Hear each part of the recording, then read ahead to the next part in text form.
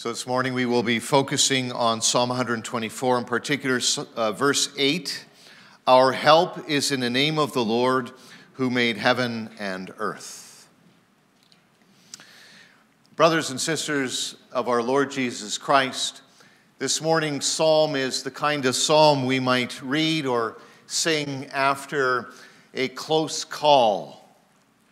So, for example, uh, you were driving and almost lost control of your car on a slippery road, or maybe did lose control but ended up safely in the ditch.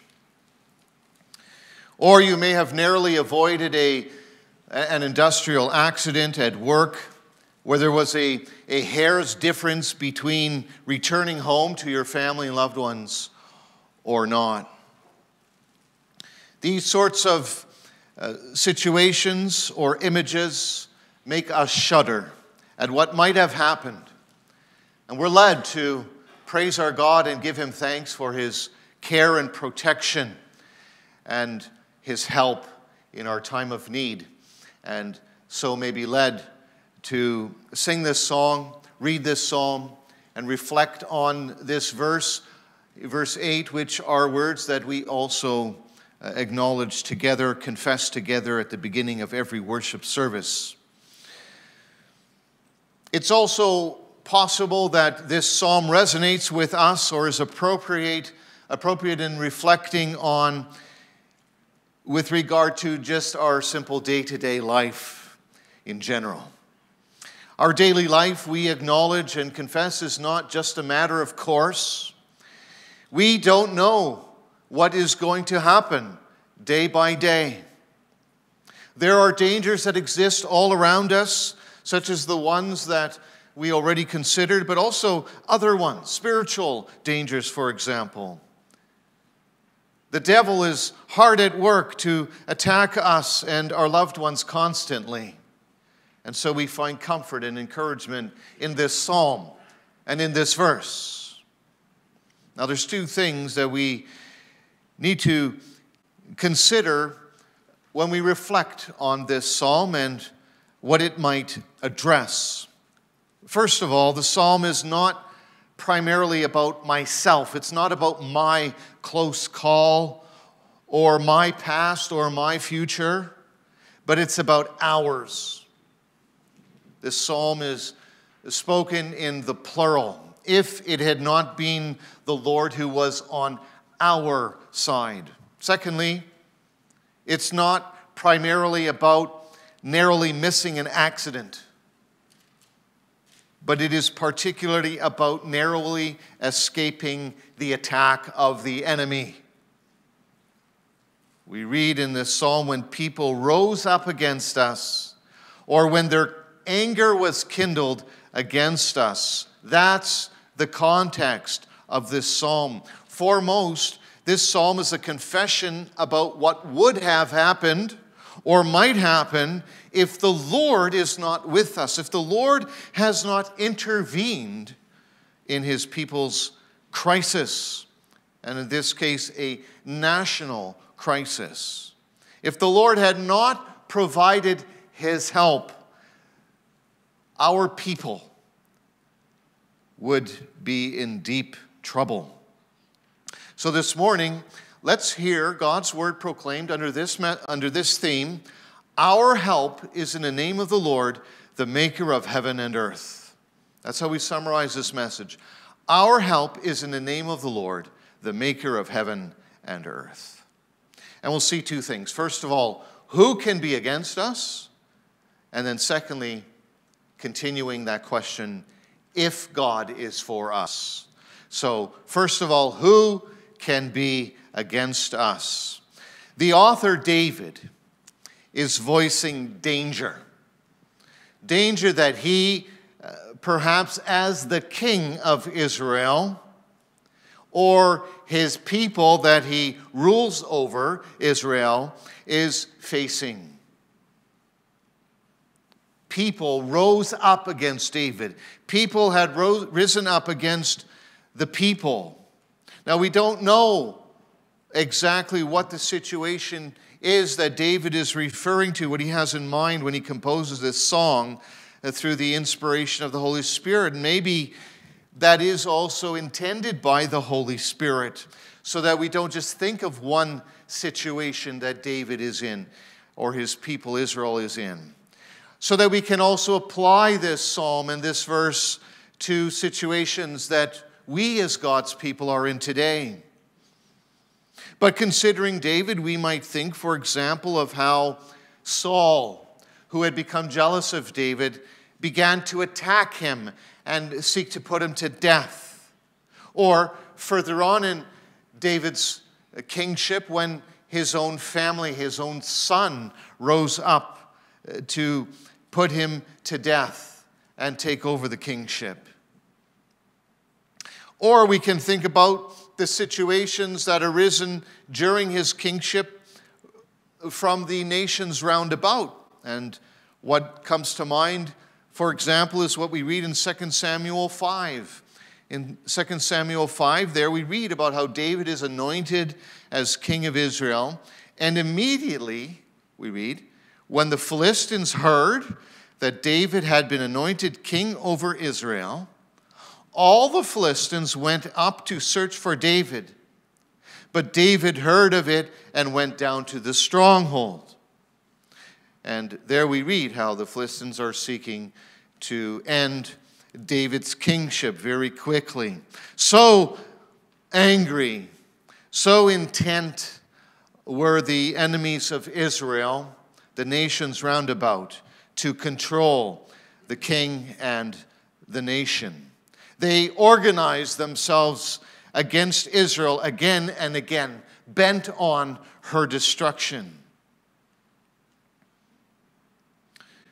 One thinks also of how the church in the Old Testament was attacked by spiritual forces, the devil himself as an enemy of God's people, leading them uh, presenting them with many, many temptations to, to lead them astray, to lead them away from the worship of the one true God.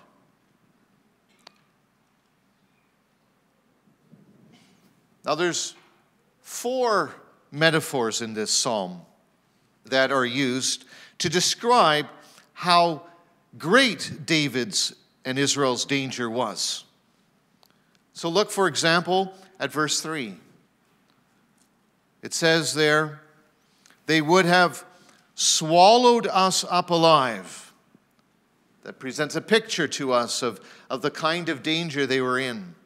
Uh, David brings, conjures forth this image of a great sea monster, like Leviathan, or like a large fish, such as Jonah encountered.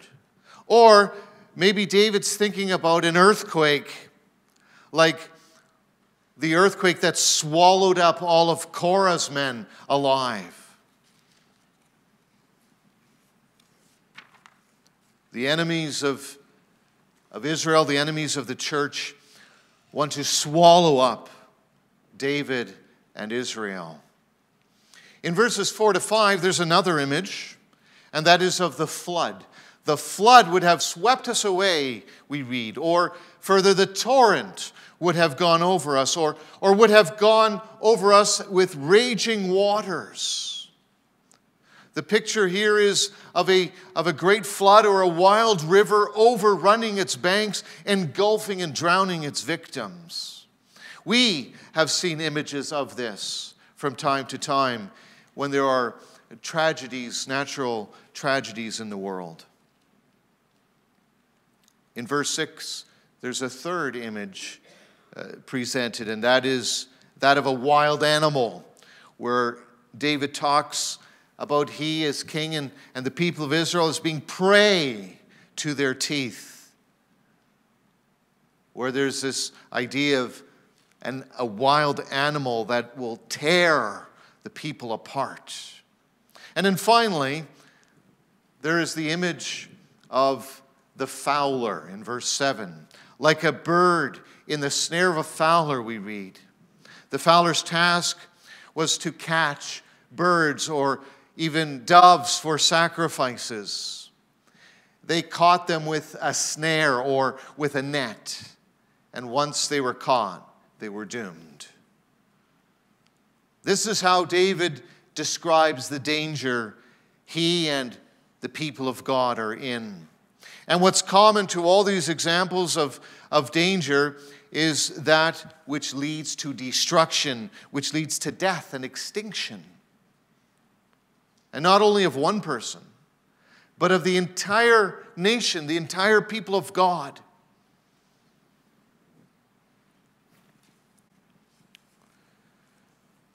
We mentioned already that this is one of the pilgrim songs. That is one of those songs that were regularly, traditionally sung on the way to Jerusalem for the sacrifices, for the festivals. And it was in those, uh, those pilgrimages that the people of Israel often met with danger or hostility. Sometimes they were confronted by wild animals or on other occasions by thieves and robbers. Also, here, the psalmist expresses the danger that they might experience, the anxiety that might rise up because of the attacks of evil. So, who else are these enemies that are against them? Well, they're not God's people. They're not part of the beloved of God. They're not part of God's church. They are those who do not serve the Lord God and obey his voice and law. They are those who might feel threatened by those who are God's people. They are do- those uh, whom we read, for example, in Romans 8, those who, who persecute the believers because of their faith. Those who, who are intent on destroying the truth, destroying God's people who confess and profess that truth, so that we are facing death all day long. The enemies are those that are described in Paul's letter to the Ephesians, chapter 6, those entities, those, those principalities and authorities of the heavens, the spiritual forces round about. The psalmist is addressing then also the spiritual war God's people experience. Like our catechism makes note of Satan and his whole dominion, even our own flesh, do not cease to attack us. We think of the lusts of the flesh. We think of the movies today, pornography, and other things that lead to addiction. We think of consumerism and the need to have all the latest gadgets and expensive toys, the things of this world, the luxuries of this world where we seek the pleasures and the fun of this world rather than sacrifice ourselves to the Lord. We think today about the attacks on the church, on public prayer, on the freedom of religion, on the preservation of two genders, on Christian ethics in general. We are reminded and, and aware again how as times progress, the possibility increases of imprisonment, of suffering, of even succumbing to death because of our Christian faith. That is a realm of possibility that is closer today than it was even a year ago. And I do not even mention, brothers and sisters, the tens of thousands of believers, maybe even millions, who are being persecuted this very day, who are being imprisoned, who are being put to death because of their faith in other parts of the world right now. The church, Zion, God's people, believers face these dangers today, just like David did and the people of Israel did in his day. And what our psalm is teaching us is that we can all, like David did, like the people of Israel did, we can face this impending doom with great confidence. And we do that when we depend on the Lord. And that brings us to our second point if God is for us. So, who can be against us if God is for us? In this psalm, Zion, the church, praises God and the Lord as the single deliverer responsible for rescue. If you know the Old Testament, brothers and sisters, you recognize this God as the one who brought his people through so many perils in the past. In essence, Psalm 124 is a, an experiential psalm in, in this that it, it expresses the church's faith experience. The people know, they ought to know, that through all of history, God has been with his people. God has been caring for, helping, preserving his people when they relied on him. And that's why we read in this psalm if it had not been the Lord who was on our side. That's the truth we need to hold on to and to claim. The Lord, our God, is on our side. That is a fact. Fact, check true. God is not against us, He is for us. As Nehemiah writes, when the people return from captivity in chapter 4, verse 20, our God will fight for us. This is the testimony of the believers of all times and places who have found themselves not simply threatened, but actually trapped. However, God's people, though captured, though trapped, are never consumed. Although they are trapped, they are not killed. Although they are killed, it is only in the body, not the soul, Jesus says. There will be tribulation for the believers, Jesus says, but Zion awaits. The Lord will set his people free from the tenacious grip of the enemy. The snare has been broken, in other words. We have, the psalmist says, we have escaped like a bird from the snare of the fowler. The snare is broken and we have escaped. And it's not by our own doing. God has done it. It is because of God's power and grace that we are delivered. Think of 2 Samuel 5 again. I mentioned it earlier, where it talks about David being anointed as king and, and how the Philistines rose up immediately against them. We read there in 2 Samuel 5 how David inquired of the Lord, What should I do? And God says, Go up against them. Go up against the Philistines.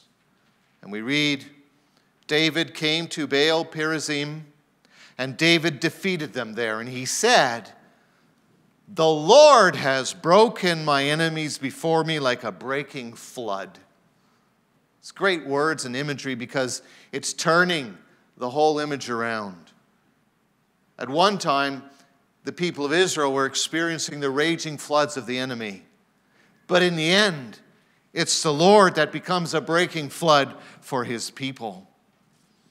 And then a little further, the Philistines come up again against David. Then David asks, What should I do? And, and the Lord says, Don't go up against them, come from behind. Use some strategy.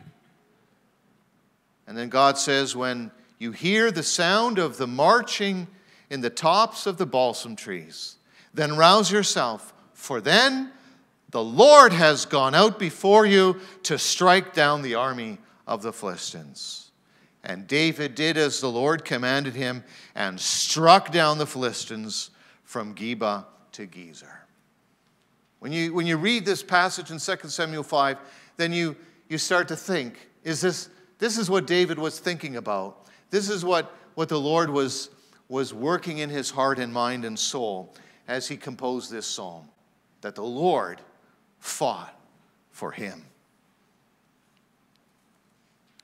Our psalm therefore leads us to the beautiful confession of dependence in the end. Our help is in the name of the Lord who made heaven and earth. That's our votum, our confession of dependence that we say together every Sunday again, every worship service again, as we express our dependence on God. Indeed, how could God, who has created all things, verse 8, be defeated by a birdcatcher's snare? If the God of the covenant is sufficiently mighty to create all of heaven and earth, the whole universe, out of nothing with his word, then we, his people, are safe with him always. This psalm, this verse, brothers and sisters, is like a collective sigh of relief of, of God's people. It's like we begin our worship with an element of relief and confidence that the name of the Lord is what carries us. Do you know what the name of the Lord means in Scripture? It stands for God Himself, it, it stands for whom He all is. In other words, His name is His fame, it's His reputation. It says, as Peter says in Acts 4, there is no other name under heaven given among men by which we must be saved. It's God's covenant name, His faithful name. It is, I am who I am, and I will be who I will be. It is referring to the God who promises forgiveness of sins and everlasting life to those who believe in Him.